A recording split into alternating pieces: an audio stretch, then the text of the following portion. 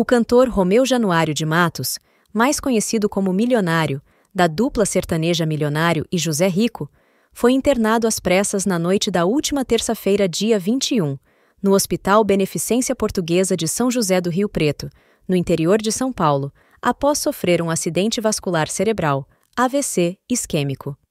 Segundo o boletim médico divulgado pela equipe do hospital, Milionário passou por uma bateria de exames e está consciente, sem déficits motores ou sensitivos, comunicando-se normalmente e se alimentando por via oral.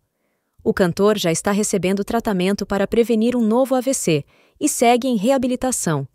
A família do artista informou que os sintomas do AVC apareceram após Milionário passar por um estresse traumático, mas não divulgou detalhes sobre a situação. O cantor, que tem 84 anos, segue internado no hospital, mas seu estado de saúde é considerado estável. Milionário e José Rico formavam uma das duplas mais famosas da música sertaneja. A dupla se separou em 2015, após a morte de José Rico, vítima de um infarto.